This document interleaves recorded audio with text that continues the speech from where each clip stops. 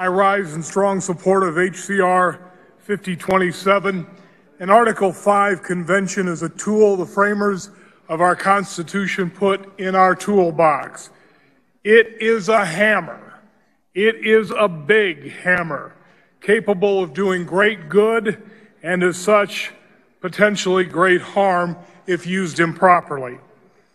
It should be difficult to get this tool out of the toolbox. Clearly, that is the case.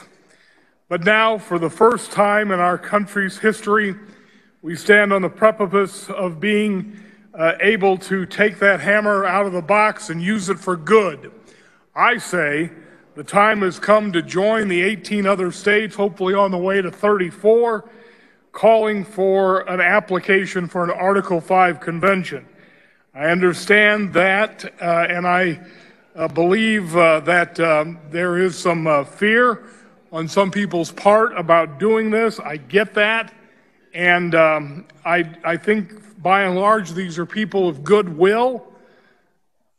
We just happen to have a disagreement.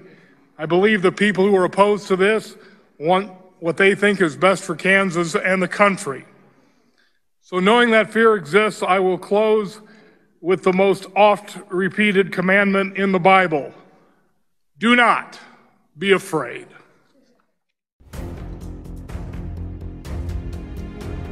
I'm here live in Philadelphia at the Tomb of the Unknown Soldier. When you hear the phrase lives, fortunes, and sacred honor, these are the folks we should think of, those who anonymously gave their lives. Well, today you have a chance to volunteer. You need to volunteer for conventionofstates.com, the movement that's going to save the country. These folks were willing to step up and give everything. We need you to give just a little bit. Go to conventionofstates.com and volunteer today.